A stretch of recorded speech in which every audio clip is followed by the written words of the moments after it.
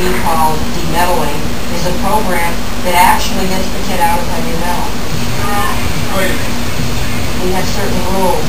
Removal of heavy metal albums or tapes, um, not allowing the child to dress in any style of heavy metal, which would mean taking these kinds of things away from him, not allowing him to wear the, the heavy metal t-shirts that depict the band members with pictures of monsters or skeletons or whatever, graves on them.